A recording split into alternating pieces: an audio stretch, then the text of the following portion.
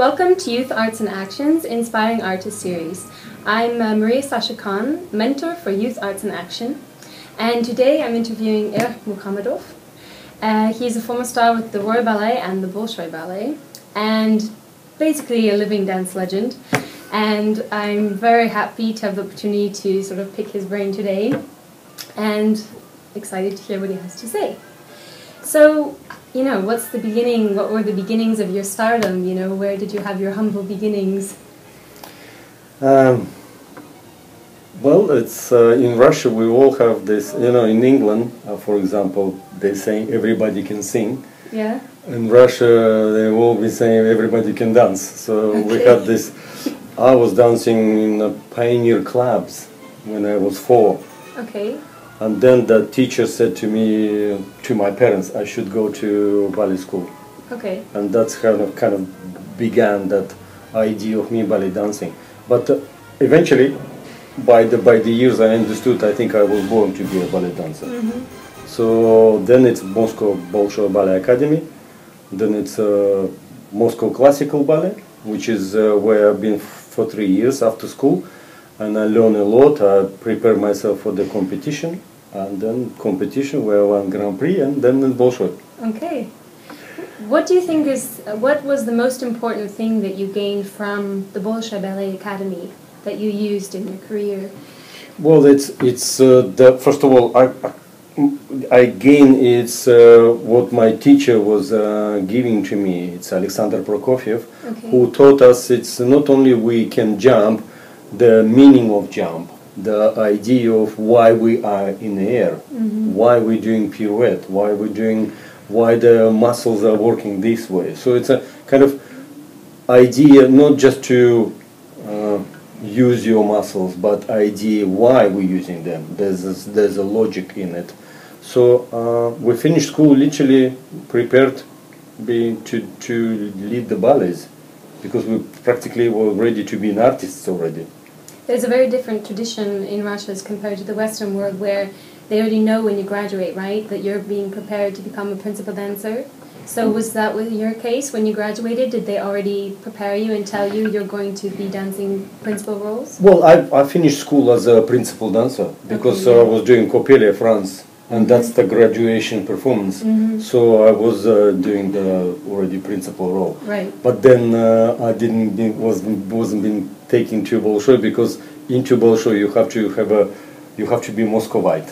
Okay. So uh, I've been taken to smaller company. Where were you born? Uh, wa- was born in Kazan. Okay. I'm a Tartar. I'm not Russian. Okay, lots of fire still. Yes. Even more fire. and then you moved over to the West. You came to the Royal Ballet. Yes, it's after uh, nine years in Bolshoi.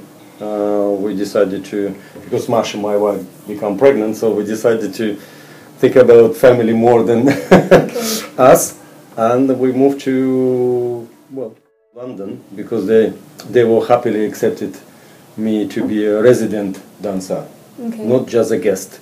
I was supposed to be guesting with Royal Ballet Okay. doing ballet there, but then I asked if I could be permanent there. Oh, I bet they were They were yes, and they were excited and they accepted me to be a member. Well, it's been such a sort of great gift for the Western world because um, I have to say I personally remember um, the very first professional ballet performance I ever saw. Uh, you were dancing Manon with Viviana Durante. Okay. And I mean, I'd never seen ballet before, and to have that sort of as my first performance, and to understand that you could move people through that medium of art.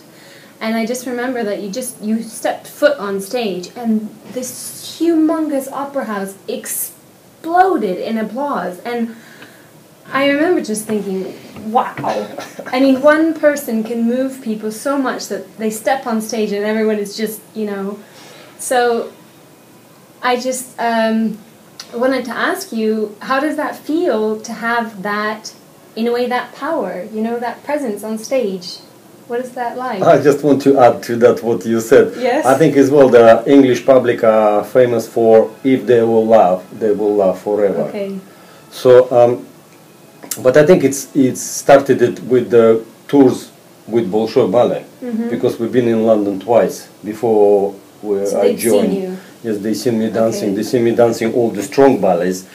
And uh, as like Spartacus Ivan the. Terrible, Golden Age, where you can really literally break your back, everything. So, but uh, when I came to London, uh, I have to really, literally um, put it aside what I know Okay. to learn the what Royal Ballet da, do, their style, their kind of understanding of the steps. Mm-hmm. So, uh, and uh, the Manon was one of the big challenges because that's pure English ballet, Yes. the pure Kenneth MacMillan. I was really nervous about it Oh. because it's a it's such a thing after Spartacus where it doesn't matter how you stand. Here in Manon, you have to have a fifth position. You have to have a beautiful uh, arms and body and everything. And then Tinidal, after Tinidal, it's very difficult to dance these kind of ballets because it was created on him. Right. So, um, and I managed, and we Oh, had a success. To with- put it very lightly. yeah, we, we, we had a huge success and the audience loved it. Kenneth MacMillan came up to me and said, you can call yourself now English dancer. So I think as well that kind of, um, and Kenneth gave me the freedom of expressing myself as well. Mm-hmm. He never said that it should be like this. I went through what I feel and for me, I live on stage, you know, it's my life. Yeah. I become Des Grieux, for example, if Yes. we're talking Manon. If we're talking Mayerling, I become Prince Rudolf. Mm-hmm. So uh, this is kind of, I think that's what it makes, probably artistically, that's what it makes person stand out. Not just being coming on stage and do what the choreography do, Yeah. but being an artist and, uh, you know, it's in, uh, I remember when I was talking to Rudolf Nureyev, Rudolf explained to me, there is the kind of graduation in the ballet world. Yeah. You, when you finish school, you become ballet dancer. Mm-hmm. You professional ballet dancer. Then you become, say, solist, principal. Then after principal, you become a star. Mm-hmm. After print, after star, you become an artist. After artist, you become a personality on stage. Interesting. So at the end, like Rudolf Nureyev, it was already personality. It wasn't really Rudolf Nureyev, it was something else. Yes, so that's kind of graduation goes. You become artist, and then eventually the, uh, as I mentioned before, uh, because I put it aside of Bolshoi style. Yes. So then eventually, when I understood what I can do with the Royal Ballet style, I put it that together, and became Irek Mukhamedov style, Okay. even better. Yes, of course. They're the best. yes, okay. Do you have maybe because you have a very good sense of humor, and I've uh, very much enjoyed your classes because not just because of the expertise that you're passing on, but because you have so much joy when you're teaching, and you know you absorb that, of course, from you. So it gives so much energy, so much motivation.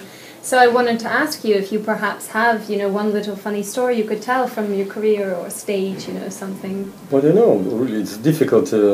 Um, I don't think so. I don't know. Uh, But you obviously find us having a sense of humor as being very important. well, of course, yeah. because it's um, as uh, you mentioned yourself, uh, the you, we not only the have to come the to do the work, we have to enjoy the work, Yeah. and because it's a ballet is most hardest job ever.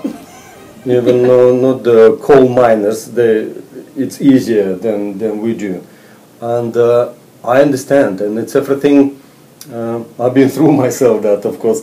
Uh, but I understand you, and that's why I wanted to make sure you actually listen me, Right. but at the same time having the not not really fun fun. We're all jumping around, No, but but- enjoying as well. Mm. Yes, so that's why sense of humor is very important in the studio, Mm-hmm. and then it's, uh, it's actually atmosphere become better, and you actually work better. Yes, you have a lot of motivation. Mm, you want to do it. Exactly. Yeah. And uh, the other question I had for you was you recently actually awarded my brother Julian MacKay Yeah. uh, the gold medal at Istanbul competition. Mhm.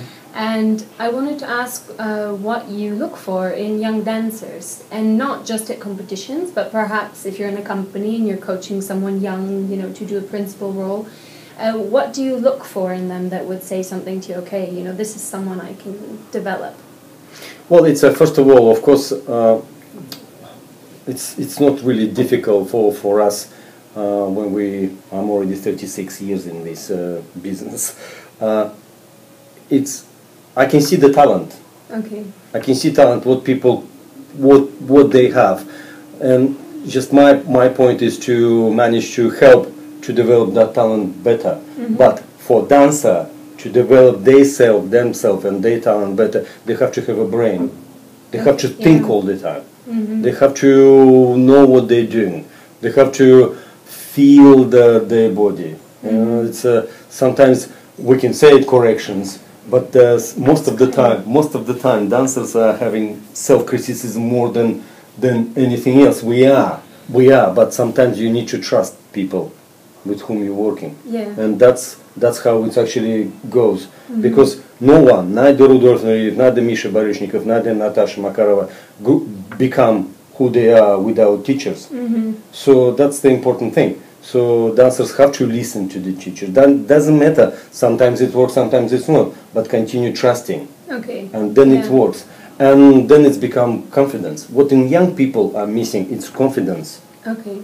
they were kind of uh, not not it. They don't know their bodies. Yeah. That's the that problem. comes the Yeah, because because they, they literally they need to trust themselves. Okay. They need to feel again. I am repeating myself. Their muscles, the body, and then they become confident because they know what body can do. hmm So they know their limitations when they step foot on stage. They know it's kind of Yeah, no, the, the, there's no limitations. Oh. That's the idea. okay. That yeah. where, where the talent it's possible to grow as far beyond the skies. Yeah. So it's up to the person. Well, anything you need to, whatever you need to achieve, you have to put an effort for it. yeah. Whatever. Even to sew the shoes, you have to put an effort for it. Yeah? So, so anything, particularly in the, in the ballet, uh, in the dance, you have to make sure it's uh, flawless, effortless, aesthetically correct, aesthetically beautiful. Yes? Even if it have to be Carabosse, still be have to be aesthetically beautiful. So I think that's what it's need for young people. I really uh, believe in themselves, trust themselves, think with the body, and be confident. And then teachers can help even better. hmm Well, thank you so much. It's yes, been such a pleasure. Okay. And uh, this is Irek Mukhamedov, and uh, I'm Maria Sascha Khan, and this was Youth Arts in Action's Inspiring Artist Series. See you next time. Bye bye.